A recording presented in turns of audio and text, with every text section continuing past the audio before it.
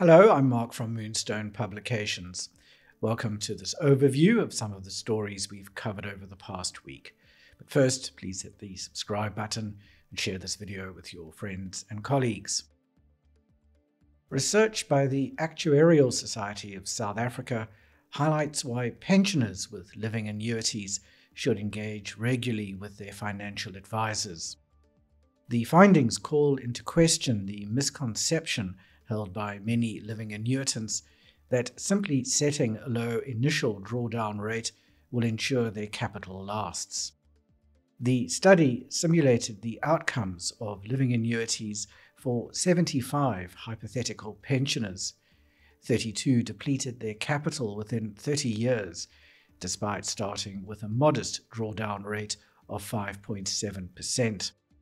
The findings underscore the necessity for ongoing reassessments of both investment portfolios and drawdown rates.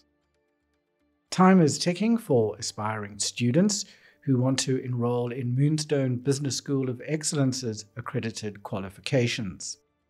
Applications for the second semester close on the 1st of July.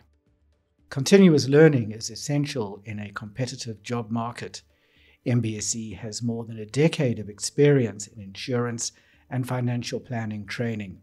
It offers a range of flexible online training solutions, enabling students to advance their careers while working.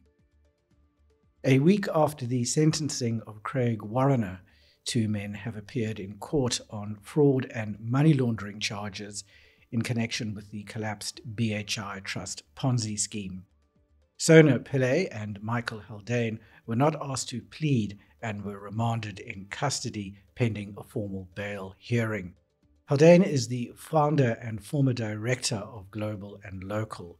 The FSCA suspended its license in March. Pillay is a director of Rubicon Administration Services. According to the charge sheet in the state's case against Warriner, Warriner directed Rubicon to issue investment certificates signed by him to beneficiaries, promising an annual return of 10%. Inflation and rising costs are causing significant strain in the insurance industry, leading to increased instances of underinsurance with dire consequences. Carolyn Thompson, an executive at Old Mutual Insure, says intermediaries play a crucial role in advising clients properly and ensuring they obtain adequate coverage to mitigate risks. She emphasizes the necessity of conducting thorough needs analyses, maintaining accurate records, and communicating policy limitations clearly. According to Thompson, failure to ensure adequate coverage could result in breaching the duty of care owed by intermediaries, potentially leaving them liable for claims. Old Mutual says retirement fund members face potential delays in withdrawal claims when the two pot retirement system goes live on the 1st of September. 10% of a member's fund value on the 31st of August, capped at 30,000 Rand, will be allocated to a member's savings component or pot. The complex seeding calculations are based on current savings and market values.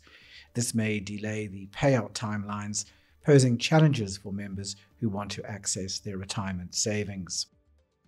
The South African Revenue Service's refusal to remit interest after concluding a voluntary disclosure program agreement with a taxpayer has sparked a legal battle now before the Constitutional Court. SARS is seeking to appeal a decision by the Supreme Court of Appeal, which ruled that it must consider such requests. This development arises in the ongoing tax saga of Medtronic International, stemming from a scheme orchestrated by an accountant that resulted in millions being stolen. Despite the VDP unit's willingness to waive certain penalties, it lacked the authority to waive VAT underpayment interest, leading to a disagreement between SARS and Medtronic over the remission of interest after the VDP agreement. Medtronic argues it is entitled to request remission regardless of its participation in the VDP the Constitutional Court's decision will have far reaching implications for taxpayers and SARS alike. That's all we have for this week. You can read these stories and many more on our website, moonstone.co.za. Until next time, here's wishing you all the best from the team at Moonstone Information Refinery.